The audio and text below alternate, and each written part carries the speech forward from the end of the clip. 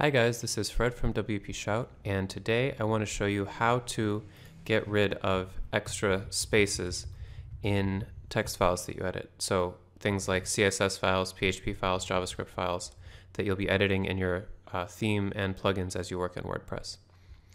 So in terms of why this happens, you, have probably seen this if you've worked for long enough in WordPress. It's basically a normal um, file, in this case a CSS file, but between every line of actual content, there's just an extra line of nothing. And I'm fairly sure that that happens because uh, PC and Mac computers have a different character that they use to encode the end of a line. And there's something about that, and this especially seems to show up when somebody edits files directly through WordPress using the theme or plugin editor. That's when I tend to see this. Um, so yeah, I'm not 100% sure on the all the technical details of what leads to this, but I do see this probably, you know, maybe once or twice a week as I as I work on various WordPress sites.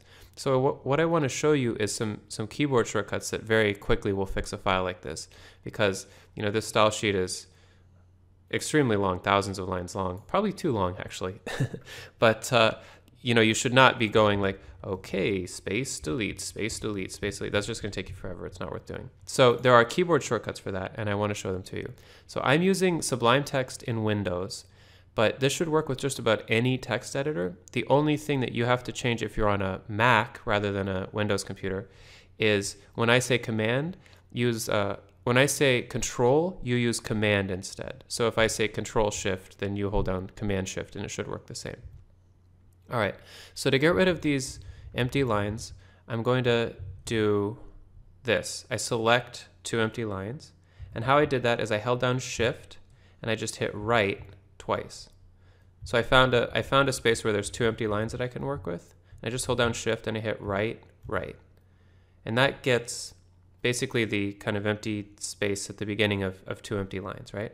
Now I'm going to copy this. So that's uh, Control C because I'm on Windows, but it would be Command C if you're on a Mac. So I just copied what I just selected. So the whole flow so far is Shift, right, right, Control C. Now I've got that copied. Now I'm going to hit Control H, which is the Sublime Text um, shortcut for find and replace.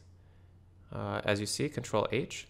So I'm going to now paste in what I selected into the find field. Control V or Command V if you're on a Mac. So that actually pasted in those two empty lines. Here, let me do it again. Okay, so that's Control V. All right, now I'm going to go replace with what? And I'm going to paste in the same thing, and I'm going to hit delete once to delete one of the lines. So I just said find two empty lines, replace it with one empty line. Now I'm going to run replace all, and that'll clean up the, uh, the entire file. So as you can see, the file is about half as many lines as it used to be.